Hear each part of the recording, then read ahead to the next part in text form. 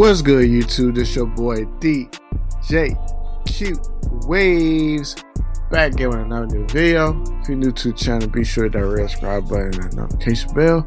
If you're a subscriber, welcome back to the channel. So, got the updated news on the Tory Lanez Megan Stein situation.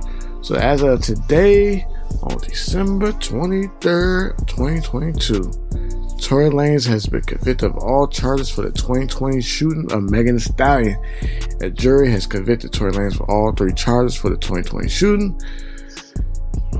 A crazy and downright scary scene in the courtroom as Tory Lanez's father and stepmother scream about wicked justice against the Roc Nation. Megan Stein accused Tory Lanez of shooting her in the foot during an argument after the pair left a party at Kylie Jenner's home in July 2020. And as a result, Lanez was charged with assault with a semi-automatic firearm, carrying loaded unregistered firearm in a vehicle. Earlier this month, a third trial. The trial delivered a number of different bombshells and twists. During the open statements, in the case was revealed that both Tory and Megan's friend Kelsey Nicole tested positive for the gun residue after the shooting incident in 2020. Then the prosecution revealed that Harris would testify in the trial that she saw Tory shoot Megan. However, Kelsey was granted immunity. She claimed she lied to prosecutors in an early interview and claimed she didn't remember much of the incident. Then things began messy when they started claiming Megan slept Tory, the baby, and immediately started Ben Simmons. And Tory apologized on Kelsey, which he said he, he was because Tory cheated on her with Megan. Then the closing arguments were made when Megan Stein and Tory Lanez trial this past third Thursday. Stated that the case was about sex, not shooting.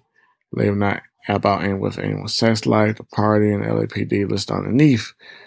Then they tried to single out Kelsey and call her a terrible liar for switching up the story. During her testimony, she also targeted Tory Lanez and said he had a massive ego could not handle being disrespected by Megan Stein, who she said was more successful than famous with him. So following the verdict, Tory Lanez reported handcuffed and taken to jail as he faces 23 years in state prison. Woo-wee. It's finally over. Ah, man, oh man. Uh, you know, I don't want to see no man go. I don't want to see no black man go to jail. But if you're guilty, you're guilty at the end of the day. Um, some people have different mixed reviews and opinions and feelings about this case. After they say they found a woman's DNA on the residue of the gun, and then claiming that Tory Lanez allegedly grabbed the gun and started shooting it in the air and just and that.